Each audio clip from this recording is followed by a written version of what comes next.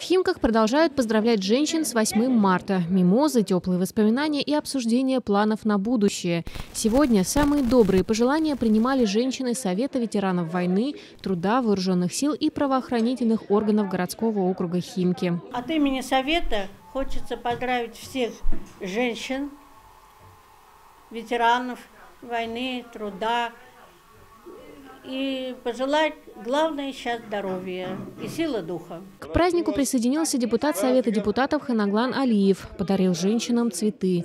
Совет ветеранов в Химках создали в 80-е годы прошлого столетия. В его состав сегодня входят больше 170 участников Великой Отечественной войны и свыше 5000 ветеранов ВОВ и труда.